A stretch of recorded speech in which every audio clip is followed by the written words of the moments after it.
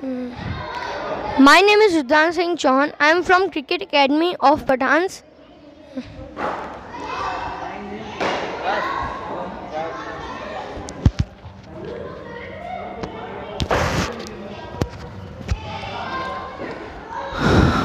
Left shoulder down, rocking of pelvis, indicative of weak core. A torso rotated towards the right side. A slight uh, knocking of knees is present. Body leaning towards the right side.